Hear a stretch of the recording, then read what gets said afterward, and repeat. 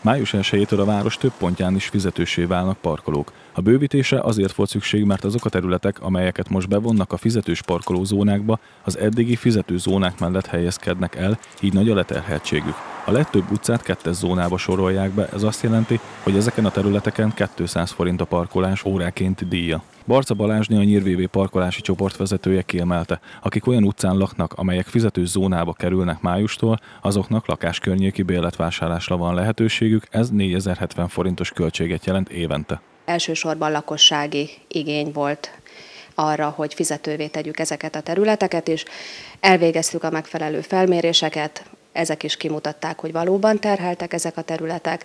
Azt tudnia kell a lakosságnak, hogy a pazonyi teret leszámítva valamennyi új terület kettes zónába fog tartozni.